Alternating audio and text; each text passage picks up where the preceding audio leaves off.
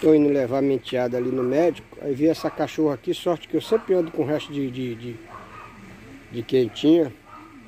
Aí vi essa cachorra com os peitão, tadinha. Quando eu me abaixei aqui, ela veio doida, doida, doida. Pelo menos eu já tô satisfeito que é, tô alimentando aqui um animalzinho, né? Que é muito difícil, né? Bichinho do jeito que tá aí. Mas tá bom.